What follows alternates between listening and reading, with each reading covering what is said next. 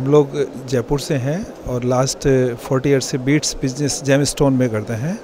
Specially we are doing मतलब beads का ही काम करते हैं। uh, बीट्स में प्रेशस सेमी प्रेशस सभी तरह की uh, मालाएँ होती है। प्राइस तो मतलब सौ सौ दो सौ रुपये का लाइन भी होता है और ऊपर का भी दस हज़ार तक का भी लाइन होता है। डिपेंड ऑन कैरेट या